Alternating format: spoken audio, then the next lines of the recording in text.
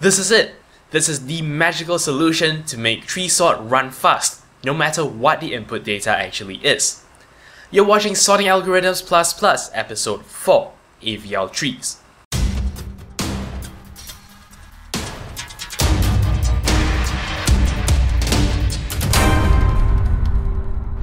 Hello and welcome back to Sorting Algorithms Plus Plus. Now, in the last episode, we've actually taken a look at tree sorts. Essentially, we've taken a very slight look at the difference between an unbalanced and a balanced tree, and we decided that, well, balanced trees are kinda important. That leads us up to our content today, which is of course essentially how to create a self-balancing binary search tree. Now, at this point, I just want to mention that there are many strategies to do this, and we're actually only going to cover one. And the reason for that, very simply, is because that's the only one I learned, and that's the one I'm very confident about, which is why that's the one I'm going to share with you. This particular type of self-balancing binary search tree is called the AVL tree, and that actually stands for the Ederson, Velsky, and Landish tree. Essentially, of course, these are the guys who created this entire algorithm, so we have to thank them. Also, I'm sorry if I bungled up that name, I probably did, but you'll be happy to know that eventually you'll probably be better at implementing the algorithm than actually saying its name. But anyway, essentially here's what we're gonna do. This algorithm works by augmenting the insertion process. So in a nutshell, how this algorithm works is, every time you insert a new item, it will check to see if the tree is still balanced. If it is unbalanced, it will make certain rotations to actually fix things and make sure it's balanced again. By performing this comparison for every insertion operation, essentially you're guaranteed a tree that is nice and balanced. So I've been throwing around these words a lot without actually defining them. What is a balanced tree and what makes a tree unbalanced? Now, you saw this particular tree last lesson. Obviously, this is unbalanced. However, there are more subtle cases of whether a tree is balanced or not. So let us take a look at the concept of height and basically how we can use that information to decide whether or not a tree is balanced. So what is the height of a tree? Well, obviously, the height of a tree is how far it extends vertically. Now, the proper way to actually count that number is to actually start from the leaf nodes, give them all a height of 0. Essentially, this height propagates upwards, and as that happens, every step it takes, it does an addition. Which means, of course, in a nutshell, the height of a node is the maximum of its two child nodes plus 1. So essentially, if we were to just zoom in to one part of a tree, let us ignore everything and assume that we've calculated things up to this point. So now we want to calculate the height of the node itself. To do that, the first thing we must do is to pick out the maximum of its two child heights. We don't want to take the smaller value, seeing as that that will not give you a correct representation of the maximum height of the tree. We always want to pick the larger value, which is why in this case we're just going to ignore the height 1. What this means is the height of this particular node is going to be 3.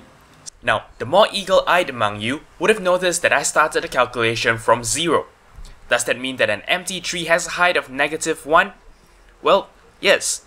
While this might seem a little counterintuitive, that is, in fact, the convention. So I hope you can kinda understand what I'm doing here. The height of a tree is propagated from the bottom to the top. And when we've finished doing this, we're gonna look at the roots and we're gonna decide, okay, this is how tall the tree is. And that is precisely the information that the AVL tree algorithm needs to decide whether or not a tree is balanced. In fact, it does a simple calculation on the height information of two nodes to determine the balance factor. And here's how you calculate the balance factor. The balance factor of any node is essentially the height of its left child minus the height of its right child. If your final balance factor is negative 1, 0 or 1, the tree is balanced. If the height is negative 2 or 2, the tree is not balanced and we have to do something to make it balanced again. Now let's go back and take a look at what this actually means. The balance factor is the height of the left child minus the height of the right child. Which means of course that the information we're going to use to determine whether or not a tree is balanced is actually whether one subtree is taller than the other by a height of 2. So essentially, if one particular subtree is taller or shorter by a height of 1, that is okay, that is no problem, the tree is still balanced. A tree is only unbalanced if that height disparity is 2. And that is exactly what an AVL tree is trying to achieve. It wants to prevent height disparities of anything greater than 1. And this is throughout the entire tree. So alright, let's say we've done our height calculations, we've done our balance factor calculation, and we realize that hey, this needs balancing. What do we do? Well, I've already said the word a couple of times. We're gonna have to perform certain rotations to actually fix this issue. There are four different cases, and each case requires its own action. To fix the imbalance, we actually have to use a combination of left and or right rotations. So before we formally apply this, let us take a look at the actual rotations. Essentially, a rotation looks something like this. Now, this might look a little bit confusing to you, but don't be confused. Essentially, a rotation is as simple as it sounds. When you have two nodes like this, a left rotation does this. Note that the parent becomes the child, the child becomes the parent. Similarly, a right rotation does this. Exactly the same thing happens here. The parent becomes the child, the child becomes the parent. Now, as for the subtrees of these two particular nodes, notice how essentially however you move them, their relative order stays. Now, notice how I've actually color-coded these subtrees. One is red, one is green, one is blue, in that particular order. After I perform a rotation, one of the subtrees will skip from one guy to the other, but their relative order stays the same. That is, red, green, and blue still happen from left to right, like they were originally. Now, this is particularly important because if we don't do things like that, obviously we will ruin the actual binary search tree property.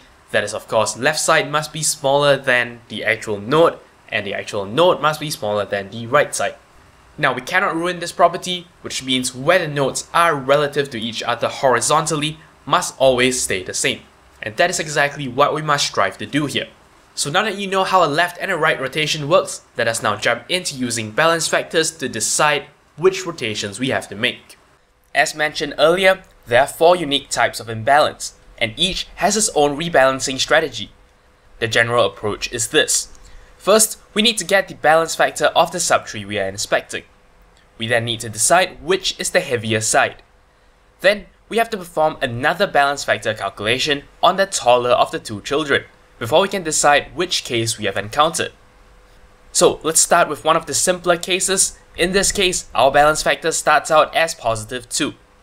Since we calculate balance factor by taking left minus right, clearly, this means that the subtree we are looking at is left heavy. We proceed to the left child and we do another balance factor calculation. If the balance factor is also positive, in other words its value is positive 1, what this means is this particular node also has a taller left subtree. This is called the left-left case.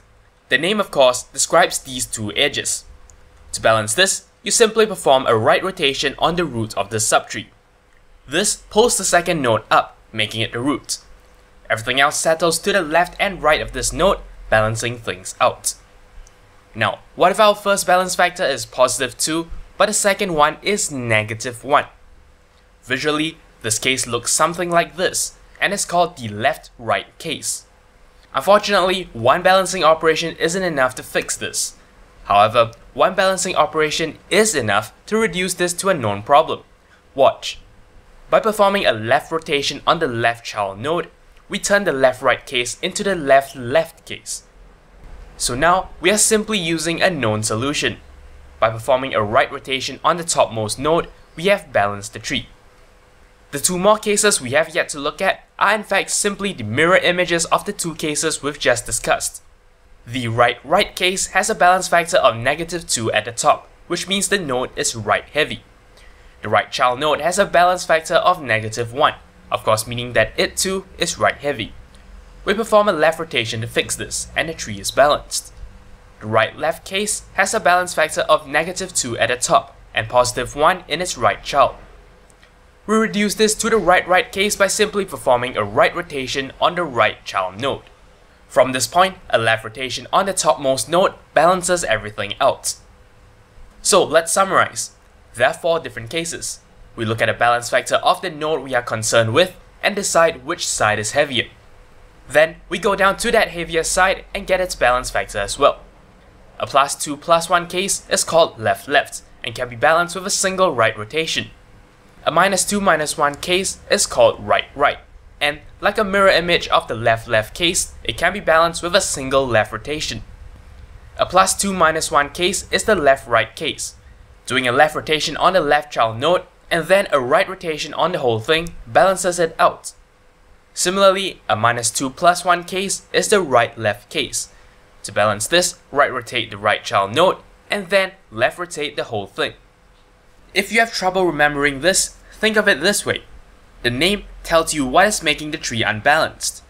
So, we want to perform rotations counter to what the name says. For example, consider the left-right case. It tells you that the lower node is right heavy, and to counter that, you do a left rotation. That turns it into a left-left case, implying left heaviness. We fix this by doing a right rotation. And yes, that is essentially all the balancing operations that can be done on an AVL tree. Now, I know this episode has run a little bit long, but we are near the end, so hang in there. As mentioned earlier, essentially balancing operations happen during insertion. What this means is, in a tree, every time after you insert a new node, you're gonna actually redo certain height calculations. You will then calculate balance factor at every node from the point you've inserted your new node and every time you encounter a balance factor of negative 2 or positive 2, you're gonna actually have to do the rotations to balance the tree.